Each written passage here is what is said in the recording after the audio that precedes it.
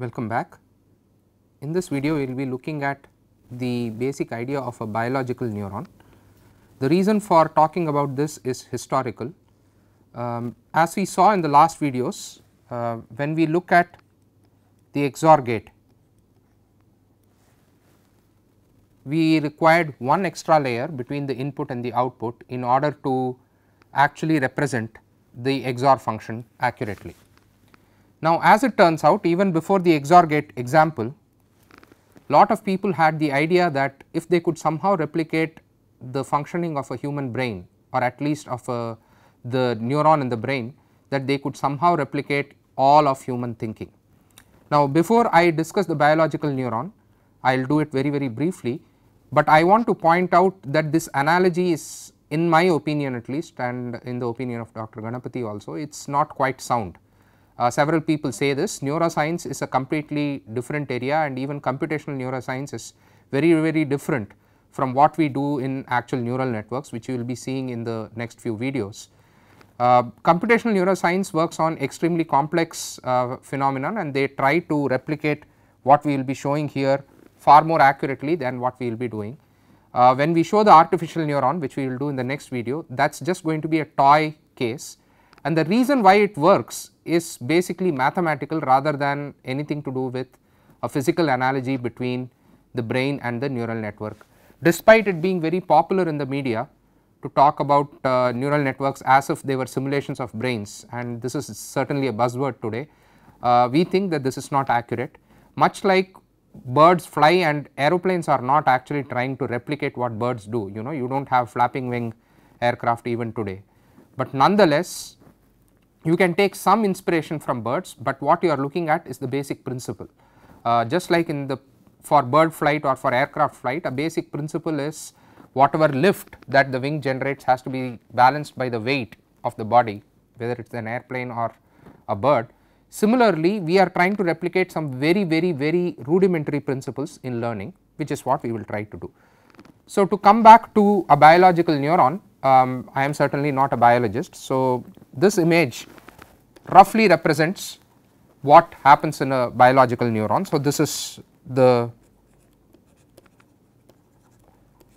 neuron cell at the cell body and what happens whenever we get an input whether it is through the eyes which Dr. Ganapathy will be covering in detail in the next week you know how you know our visual system works. But whether it is the eyes or your auditory system finally when it goes to the brain you actually have multiple source of inputs. Let us take the analogy of an eye just like we in an image you have pixels a lot of information comes from various sources. So, we can see input nodes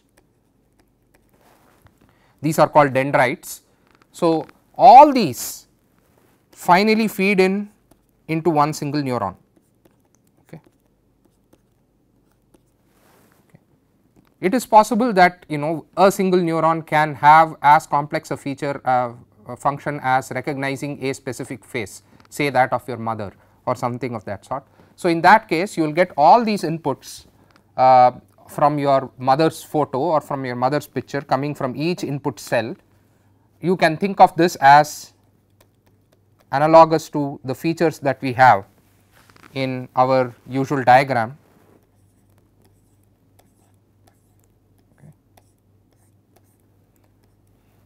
And all these feed in into one place.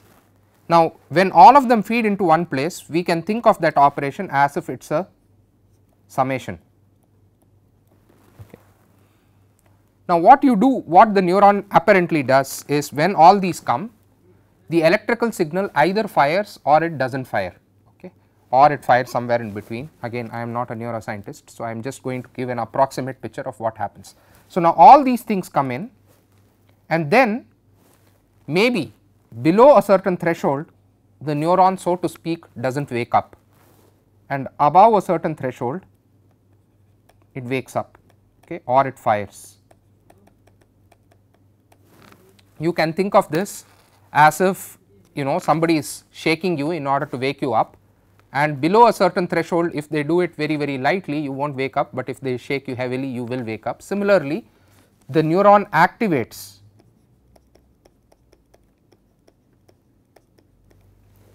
only after a certain amount of electrical signal all these inputs coming together activate it. You will notice that this picture is somewhat similar to